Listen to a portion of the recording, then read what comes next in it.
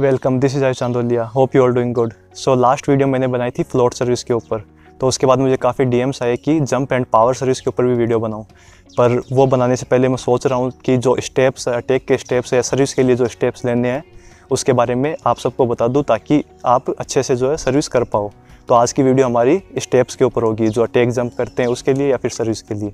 और अगर आपके स्टेप सही होंगे तो आपका जो बॉल एडजस्टमेंट है वो भी ज़्यादा अच्छा होगा और आप जो बॉल को है, आराम से अच्छे से हिट कर पाओगे। तो स्टेप सही होने बहुत ज़्यादा इंपॉर्टेंट है। मैं आपको बता देता हूँ कि अगर आपके स्टेप सही होंगे तो आपका जंप जो है वो और ज़्यादा इंप्रूव होगा। अगर अभी आप गलत स्टेप्स ले रहे हो, अगर आप सही स्टेप करोगे तो आपका जंप जो है वो बढ़ेगा। और एक चीज़ आप ये ध्यान में रखिए कि जब आप कोई भी टेक्निक नई इंक्लूड करते हो अपने अंदर, जैसे आपकी स्टेप्स गलत है और अगर आप सही स्टेप करोगे तो आपका गेम थोड़े दिन के लिए डाउन होगा।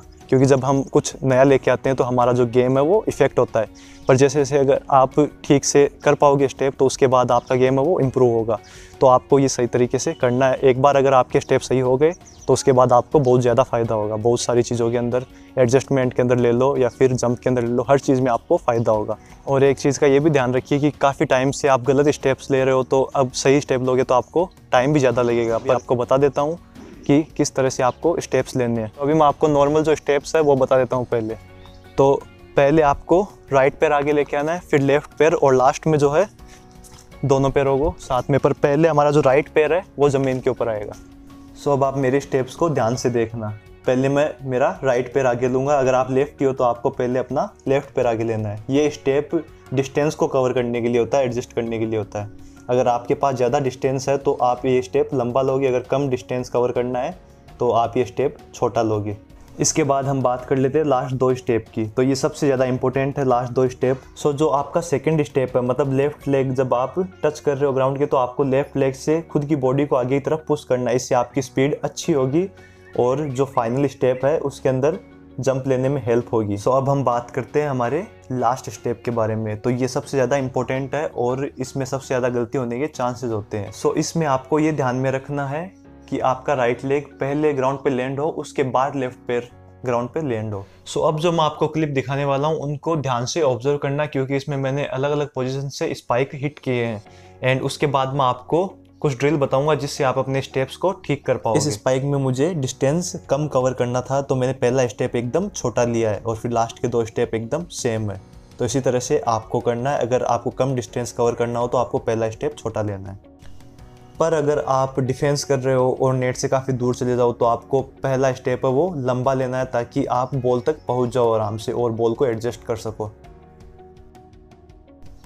एंड सम टाइम जब बॉल ठीक से सेट ना हो मतलब बॉल अंदर रह जाए तो आपको जो अपना लास्ट स्टेप है, उसकी साइड चेंज कर लेनी है, उसकी डायरेक्शन चेंज कर लेनी, ताकि आप बॉल आराम से एडजस्ट कर पाओ, जैसे मैंने इस क्लिप में की है।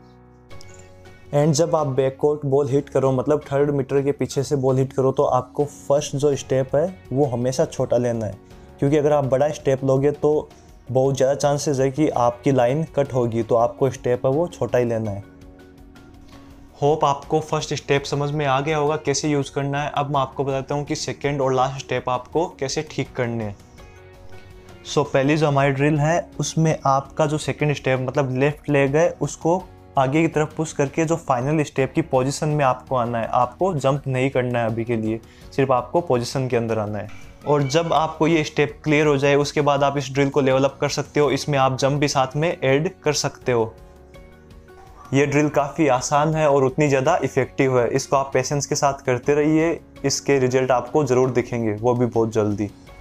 और इस ड्रिल का एक फ़ायदा ये भी है कि ये आप कहीं पे भी कर सकते हो, घर पे कर सकते हो या ग्राउंड पे कर सकते हो और जितना ज़्यादा करोगे आप, उतनी जल्दी आपको इसकी आदत पड़ेगी और आपके स्टेप्स है वो सही हो जाएँगे। सो अब चलते हैं हमारी फाइनल ड्रिल की तरफ़। ये ड्रिल हमारे फाइनल स्टेप के लिए ही है। इसके अंदर आपको अपने राइट लेग को पहले से ही आगे रखना है और उसके बाद लेफ़्ट पैर को लेके आना है और जंप करना है। इसको आपको फील करना है, जैसे हम लास्ट स्टेप में जंप कर रहे हैं। इस एक्सरसाइज से आपकी टेक्निक भी इम्प्रूव होगी। मैंने ऑलरेडी एक वीडियो में इस एक्सरसाइज के बारे में बताया तो वो वीडियो आप देख सकते हो। डिस्क्रिप्शन में लिंक है उसकी। एंड एक बात का और ध्यान रखिए आप कोई भी एक्सरसाइज कर रहे हो जंपिंग एक्सरसाइज कर रहे हो तो शूज़ ज़रूर पहने चाहे आप घर पे हो या ग्राउंड पे हो क्योंकि बहुत ज़्यादा इंपॉर्टेंट है।